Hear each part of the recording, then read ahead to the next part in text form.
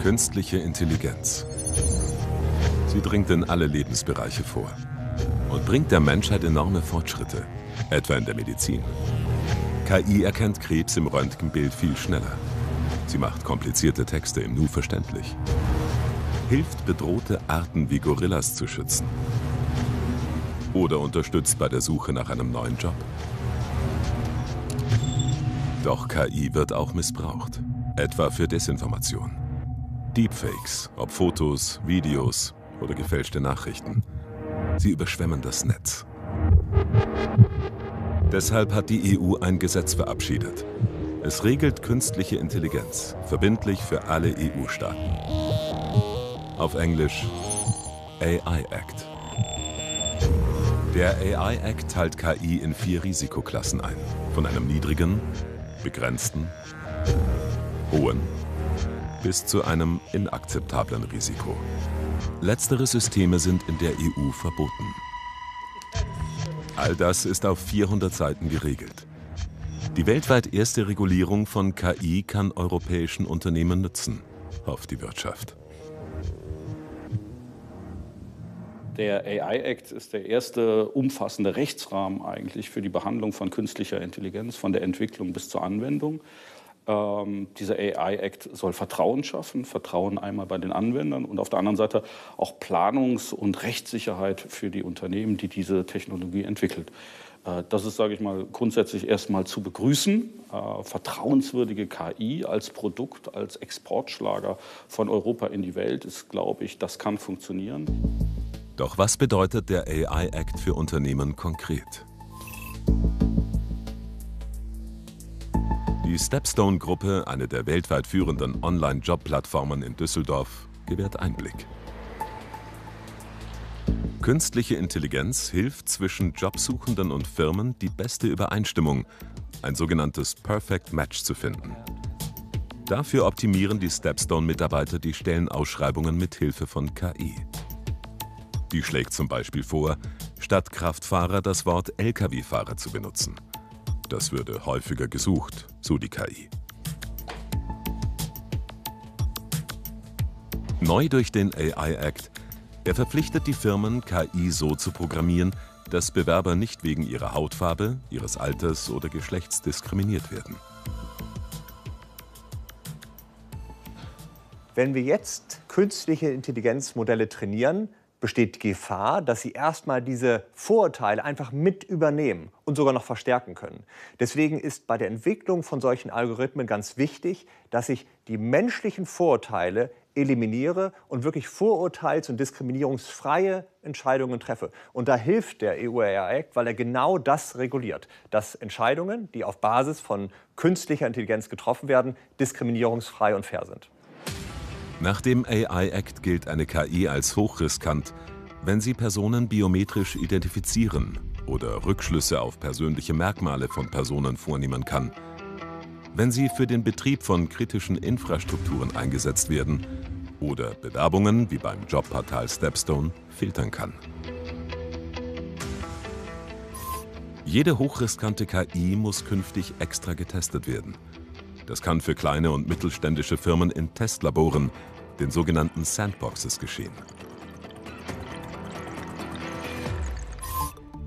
Der AI Act schreibt vor, in allen EU-Ländern solche Testlabore einzurichten. Noch ist das in Deutschland nicht passiert. Und es gibt Zweifel, ob die Tests später einheitlich laufen werden. Und Hochrisiko-KI benötigt ein Testzertifikat. Nur dann darf eine Firma sie einsetzen oder verkaufen. Ohne das Zertifikat ist ihre Anwendung verboten. Wer die Vorschriften nicht erfüllt, dem droht der AI Act Geldbußen von bis zu 15 Millionen Euro an. Die vielen Regeln verunsichern die Gründerszene. Startups setzen nun eher auf die Entwicklung risikoarmer KI, denn da gibt es nicht so viele Vorschriften. Gründerin Vanessa Thiel ist froh, dass der AI Act die Software, die sie und ihr Team entwickelt haben, als risikoarm einstuft. Ihre KI ist eine Art Übersetzungsprogramm für schwierige Texte. Ein Beispiel.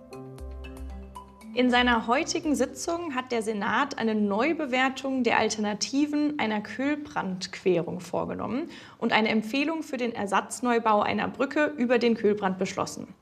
Genau, jetzt gebe ich diesen Text einmal bei uns ins Tool ein, klicke auf Übersetzen und dann bekomme ich innerhalb von ein paar Sekunden einen Vorschlag, wie ich den Text in kürzeren Sätzen, eine Aussage pro Satz und leichter und verständlicher wiedergeben kann.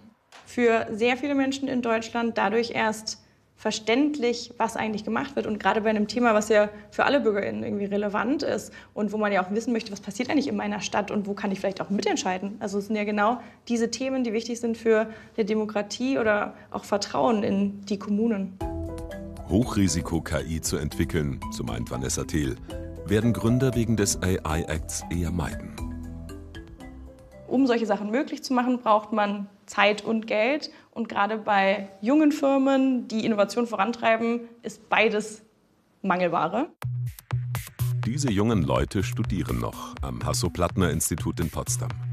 Sie entwickeln gerade eine KI, die Gorillas identifizieren kann. Bewegungsprofile sollen helfen, die bedrohte Art zu schützen.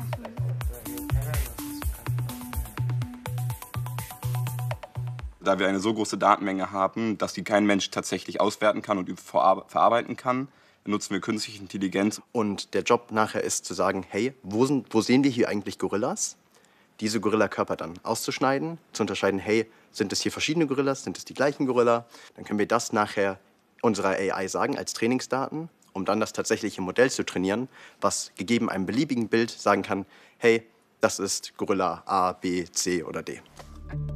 Obwohl der AI-Act für die Wissenschaft nicht gilt, macht sich Professor De Melo Sorgen. Denn der Technologietransfer von der Uni zu den Startups gelingt nur, wenn die Rahmenbedingungen es erlauben. Es wäre natürlich schlimm, wenn jetzt äh, für jedes neue KI-System erstmal langwierige Verfahren durchlaufen werden müssten, die eventuell sehr kostspielig sind. Zudem kommt es jetzt darauf an, wie schnell die Mitgliedstaaten die Vorschriften umsetzen, heißt es im neuen KI-Büro in Brüssel. In dem ganzen Thema künstliche Intelligenz ist die Geschwindigkeit ein, ein zentraler Faktor. Die Mitgliedstaaten müssen gleichzeitig sehr schnell jetzt äh, die äh, zertifizierten, zertifizierten Stellen ernennen. Solche Zertifizierungsstellen müssen Hochrisiko-KI-Systeme freigeben. Allerdings der AI-Act lässt den Mitgliedstaaten dafür zwei Jahre lang Zeit. Jede Verzögerung wird KI Made in Europe ins Hintertreffen bringen.